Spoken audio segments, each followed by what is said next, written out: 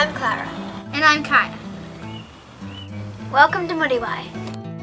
At home, we look after lots of animals, such as horses and ponies, sheep, chickens, cats and kittens, dogs and puppies, cute little guinea pigs, some fish, and some cattle. We've decided to think outside the box and do our movie on a completely overlooked issue Rennet. Rennet. But what is rennet? Only one way to find out. Hi, I'm Professor Kaya Jameson, and today I'm going to talk to you about what rennet really is. Rennet comes from a cute little bobby calf. Its stomach acid is pumped stomach and into big vats.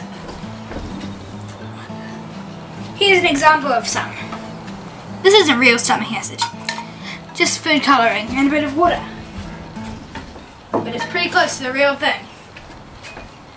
Rennet goes in an everyday food item that we all love.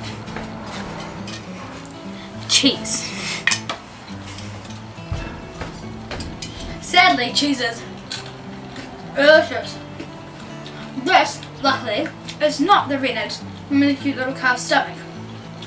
This contains rennet made by lemon curd. It applies the same texture that the rennet is used for. This is Martha. This is Curious Georgie. The black and white one is Oreo. Last but not least, beside her is Harriet. Imagine these calves being driven away from their worried mothers in cramped stock trucks to be cold. So next time you have that slice of pizza, think about how all of those calves suffered to put it on your plate. But luckily, there is an alternative.